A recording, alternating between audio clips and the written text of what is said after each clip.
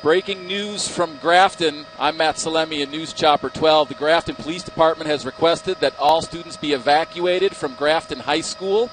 We're told that all the students are safe and they have been taken to St. Joseph's until the all clear has been given. Milwaukee County is lending hand with the units to come and help in the search. At this point, again, all students are safe. The building has been evacuated. The students will either be released to their parents or brought back to class once the all clear is given again here at Grafton High School. Stay with WISN.com and WISN 12 News for the very latest.